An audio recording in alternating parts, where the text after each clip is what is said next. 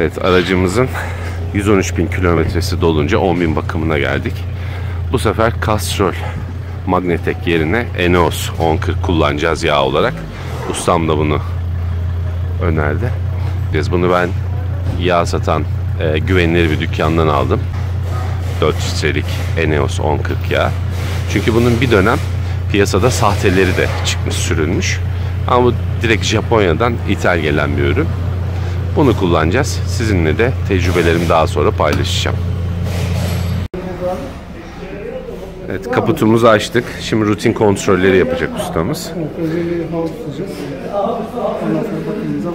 Antifrizimizi ölçecek galiba. Ondan sonra biraz vibrasyon oluyor sabahları. Ona bir bakacağız neden oluyor. Gerçi benim akümde normalinden daha büyük bir akü kullandığım için şuradaki motor bloğu ile temas ediyor burası. Ondan da bir vibrasyon kaynaklanıyor ama yine de soğukken bu aralar arttı vibrasyonumuz. Ona da bir bakılacak. Evet yağımızı boşaltıyoruz. Yağımızın durumu tam 10.200 kilometre oldu. Evet şimdi balataları da kontrol ettik. Daha önce TRV balata taktırmıştım ben. Bunlar da bayağı bir inceldiğini söyledi ustam. Şuraya bir bakalım emniyet sacına ne kadar var. Az kalmış. Bir 3000 kilometre daha götürür diye ama ona karar vereceğiz. Fiyatını bir öğreneceğiz önce. Şimdi bakım için olacak malzemelerimizi seçmeye geldik. Burada orijinal yağ filtremiz var Honda'nın. Burada Honda'nın testlerde kullandığı hava filtremiz var. Bunu bir görebilir miyiz?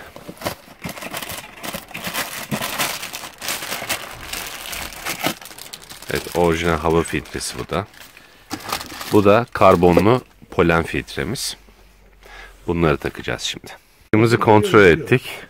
Alt şanzıman kulağımız da kopukmuş. Ama bizimki metal mi, plastik mi ona bir bakacağız söktükten sonra. Daha sonra da bu ikisinden birisini takacağız, değiştireceğiz. Çünkü e, bunu nasıl anladık kopuk olduğunu hem kontrol ederek hem de sürüşlerde direkt vuruntu şeklinde kalkış yapıyordu. Yolda giderken de motor sallanıyordu çünkü birden gaza bastığınızda ya da bıraktığınızda bir vuruntu hissediyordunuz. Bunu değiştirerek sorunumuzu da çözeceğiz. Bizi seçtik. Şimdi balatamızı da değiştireceğiz. Blueprint ile değiştireceğiz. Yumuşak bir balata ses de yapmıyor. Konforlu bir balata. Evet, başka bir cihaz araçta da diski değiştirdiler. Çünkü bu disk artık bitmiş. Şöyle yandan baktığımız zaman şurada bayağı bir fark var. İçine girmiş burada. Şöyle yandan da baktığımız zaman. Şimdi bunu yeni diskle değiştirdiler. Gördüğünüz gibi burası sıfır. Hem de pürüzsüz bir yüzey. Şimdi daha güvenli ve konforlu frenleme yapabilecek bu araç artık. Alt şanzıman takozu, motor takozumuzun olduğu yerin kopukluğunu şu şekilde tespit ettik. Onu da değiştireceğiz şimdi. Buradaki plastikmiş bizim CVT şanzımanlarda genelde plastik oluyormuş. Şimdi plastik olanla değiştireceğiz onu.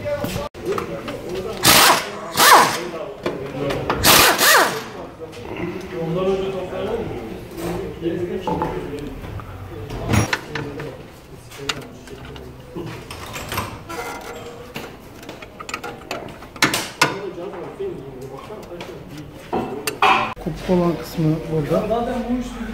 Evet kopan kısım burada kopmuş. Bu da yeni takacağımız şanzıman kulağımız. Bunu takacağız.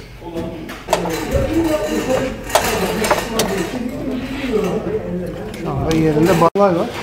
Oralara sürtüp ses yapmasın diye balataların kenarlarını tıraşlıyoruz. Bir nevi balata frene bastığın zaman aşırı faturalarda balata burada sıkışıp piston da gerildi. İkinci frende boş olabiliyor. Onun için biraz da güvenlik açısından da tıraşlama yapıyoruz. Evet, blueprintlerimizi buraya monte ettik. Şimdi diğer teklere monte edelim.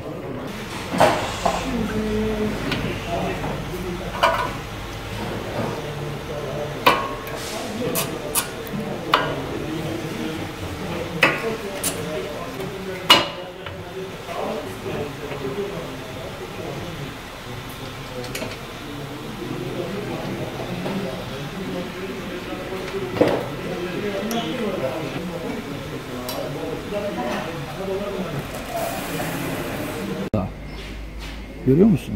Şuradan kırılmış. Ön sağ kulakçıkta da bir sorun olduğu tespit edildi. Şimdi onu da değiştiriyoruz yenisiyle. Neresi kırılmış? Tam şurası. Yani bura kırılma yeri. Basmış motor. Bu üstünde ağırlık varken tam orayı aşağıya çökertiyor. O da 3-4 milim çöktü mü başlıyor vibrasyon yapıyor. Şimdi onu da değiştireceğiz. İşlemlerimiz bitti. Aracın bakımı bitti. Aracın bakımıyla ilgili işte motor yağı, yağ filtresi, hava, polen, ön balatası ve alt motor kulağı değişti. Bunların da toplamı işçiliğimiz dahil 825 yani 800 lira toplamımız tuttu. Bunda kullandığımız malzemelerimiz, videolarını çektiğimiz gayet kaliteli, güvenilir parçalar. Hepsi de garantilidir.